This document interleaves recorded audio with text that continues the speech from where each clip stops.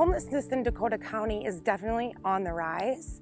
We're seeing a lot more folks outside homeless in Dakota County living in their cars. Uh, we're also seeing a lot more folks that are first time homeless. Unsheltered homelessness means anybody who's staying in a place that's not meant for human habitation, wooded areas, uh, behind buildings, by dumpsters, in cars. Homeless outreach services at Ally entail, first of all, basic needs.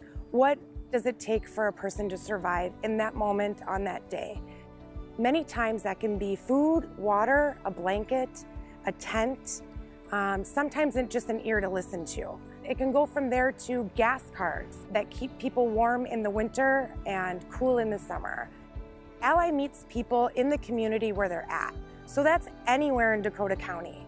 That could be in parks, um, in cars, in buildings, parking lots. And we take the time to visit them and keep in touch to get to know them and their homeless situation. On an average day, we may come across anywhere from 10 to 30 different individuals. And every quarter, we average about 400 contacts. We're that first connection to what might be their recovering journey from homelessness. That connection to the next service that could uh, improve their lives and obtain housing and maintain housing in the community. Every Thursday, we have a Homeless Street Outreach drop in center at the Wentworth Library from 1 to 3 p.m. Folks will have the opportunity to meet with a street outreach worker, potentially get a housing assessment at that time, which helps get on housing lists, or connect with other resources.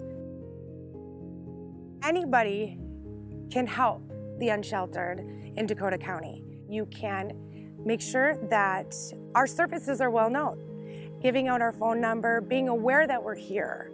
And then if it means physically giving something, giving gift cards and restaurant cards is the best way community members can help our unsheltered individuals by donating them directly to Ally Homeless Street Outreach.